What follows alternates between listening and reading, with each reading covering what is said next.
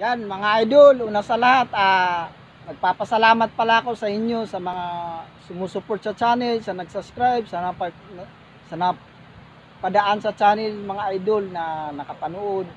So idol, na monetize na yung channel ko. So maraming maraming salamat sa inyo idol.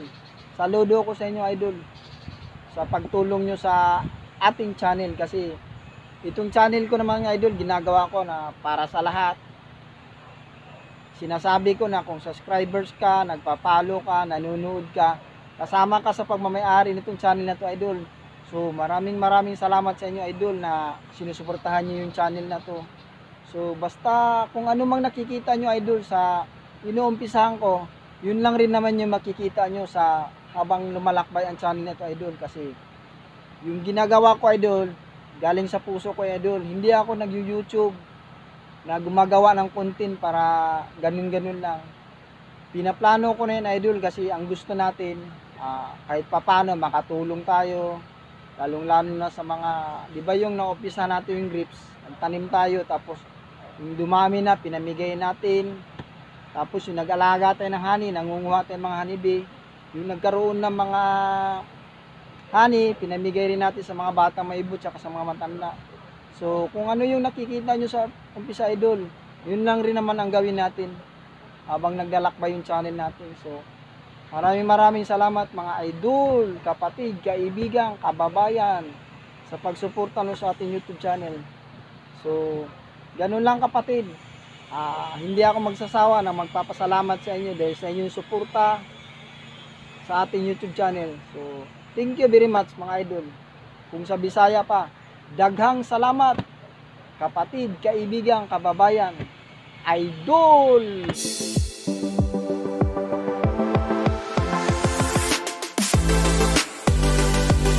Kutuhan mo, Kati, kutuhan mo. Kutuhan mo. Kutuhan mo. Yan, kutuhan mo.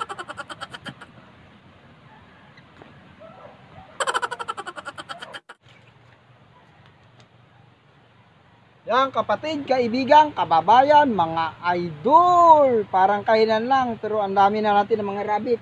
Mayroon pa tayong ibon na tinitrin na idol. Oh, bago. Oh my God! Kati. Wow! Yan, kapatid, kaibigan, kababayan. Ayan o, oh, anong anak. Itong anak niya, pitong piraso kapatid. Tapos yung kulay na ano dyan, yung gray, nakikita nyo sa mga video, yun, nanganak ng walong piraso, ka, idol. So, mga ilang buwan lang, mapaparami na natin yung mga rabbit natin, idol. So, so napakaganda mag-alaga ng mga rabbit, idol, lalo na kung mayroon ka mga malapit ka sa damuhan. Kasi kahit wala kang pambili ng ano, pagkain feeds nila, pwede mo pa kainin sila ng mga damo.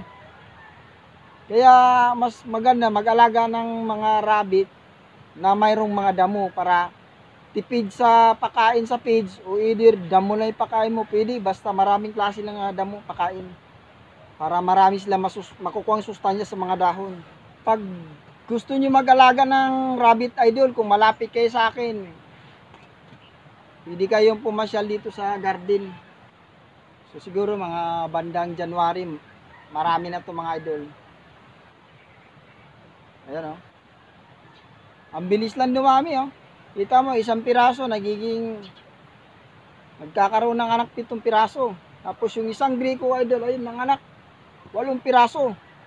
Tapos yung kulay brown natin dati, nanganak ng apat, kaso ninakaw yung isa, kaya tatlo na lang. Pero ayun, malalaki na rin sila idol. So, bibigyan ko kayo ng idea sa panahon ngayon idol, pag nag-alaga tayo ng mga hayop, kagaya nito, napakalaking tipid kasi kung wala tayong pambili ng mga feeds, pwede damo lang, mabubuhay sila sa damo basta ang suggest ko lang kung pakainin lang natin sila ng damo, maraming klasing damo para maraming sustansya sila makukuha sa damo. So ayan kapatid oh, oh imbis na bumili ka ng feeds, yan, bibigyan mo lang pagkain. Bibigyan mo lang sila ng mga dahon. Oh my God! Wow! Ito idol, ano to to siya? 17 to pinanganak. So ngayon 17 ngayon, oh, one one month na. So pwede nang hiwalay idol. Tapos ito, ang nanay na to, papahingain natin ng mga dalawang linggo pagkatapos ng dalawang linggo, pakastahan na naman natin. Tapos, mayroon akong pinapakain nito, idol, na damo na, na napapanood ko lang rin sa YouTube na may pinapakain sila ng mga damo na ay mamaya papakita ko sa inyo kung anong klaseng damo yun mga, na na napatutunayan ko na nakakatulong siya na paparamihin ang anak. Kasi yung pinanganak ko yung itong kulay brown dati, apat lang. So yung nakita ko sa YouTube na yung mga dahon sila pinapakain, sinubukan ko pinakain ng kumakain. Ito, pinakain ko ng pinakain to. Kaya inanganak ng pito. Tapos yung kulay ano ko, yung kulay gray, talagang pinakain ko ng pinakain din. Yun, nanganak ng walo idol. So, prove talaga na nakatulong yung dahon na yun. Tsaka pag kinain lang yung dahon na yun, idol, na mararamdaman mo napakasarap sa kanila, idol. Yung dahon na yun. So, sa darating na mga araw, iba-vlog ko yun para makakuha kayo ng idea. Halimbawa, pag mag-alaga ka ng rabbit, yung dahon na yun, hahanapin nyo, papakain nyo. So, malaking ano, idol. Oh. Yan, isang tumpok, idol. Oh. oh. Isang tumpok. Oh. Oh. Yan. Ang sarap ng pakiramdam. Tatlong buwan lang ako nag umpisa mag-alaga ngayon, idol. Ngayon, yung ganito ka, idol, 20 piraso na, mayroon pang isang buntis. So, pag nag-alaga tayo ng rabbit, paikot-ikot lang, idol. Pag pahinga ng isang nanay, mga mga one month, pagkatapos ng mga anak, pahingain natin ng 15 days, pakastahan na naman natin. So, bago natin pakastahan, i-condition natin siya. Ah, ano natin siya, pakainin ng mga maraming klaseng damo. Tapos, siyempre, pakainin natin ng feeds para makaka-recover siya. Kasi kailangan din niya ng protein din. Kasi ang feeds kasi may mga protein din. So, yun ang ibibigay ko sa inyo mga idea idol. Napakaganda mag-alaga ng rabbit. Mabilis dumami. Tsaka yung rabbit idol, kahit halimbawa makagat ka, walang rabies. Hindi ka mag-aalala sa tuwing nakakagat ka. Pero hindi sila nakagat, napakabait. Lalo na kung sanay, sanay sila sa ano, hawak, ginihimas mo. Hindi sila na mababait. Pati yung nanay idol, oh. Oh, mabait, oh. Wala, wala siyang pakialam kahit ganun yung anak mo. So, yun kapatid, kaibigan, bibigyan ko kayo idea sa panahon ngayon, maganda alagaan ang rabbit kasi, ah, halimbawa, wala tayong pambili pagkain, manguha lang tayo ng mga damo-damo, especially kapatid sa sa naranasan ko lang na magandang daho, damo ipapakain yung paragis. Alam natin yung paragis, napakasikat na dahon. Yun ang pinapakain ko lagi pa, kapatid kasi marami ako dito sa garden. Pero lahat ng damo pinapakain ko sa kanila para marami silang sustansya makukuha. So, makikita nyo naman kapatid oh. Ito, tatlong buwan lang. Tatlong buwan lang, malalaki na to. Tapos pagdating ng mga 5 months nito mga idol, yung babae nito para pakastahan ko hanggang sa dadami mga idol.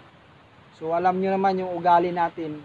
Basta marami na yung ano natin, katulad yung grapes, pinaparami natin dati. So yung dumami na, pinamigay natin. Yung nagpaparami tayo na honey, dumami na. Nagkaroon ng mga yung honey, pinamigay natin sa mga bata sa matanda. Ah, ganun din ang mangyari nito kapatid.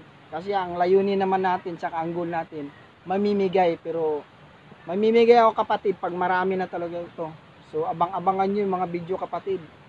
Kasi kung ano yung naumpisahan ko kapatid, yun lang rin ang gawin ko. Lalo na ngayon, na-monetize na ako kapatid. Oh my Maraming God! kapatid. Wow! Idol! Sinusuportahan nyo yung YouTube channel natin. So abang-abang na lang sa mga video idol at sisiguraduhin ko matutuwa kayo sa gagawin namin ni Tweety. Tapos meron tayong bagong alaga, si Kati. So yan lang kapatid. Maraming maraming salamat. Thank you very much. I love you. Bye-bye!